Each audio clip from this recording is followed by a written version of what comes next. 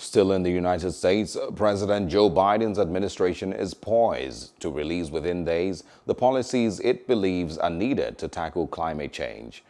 Gina McCarthy uh, told the virtual meeting of the U.S. Uh, Conference of uh, Mayors a little bit.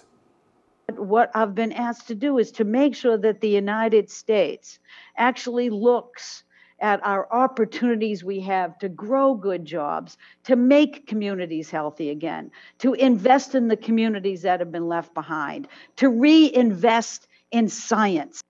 Scientists told us three years ago that we had 12 years to make the decisions that would avoid the worst consequences of the climate crisis.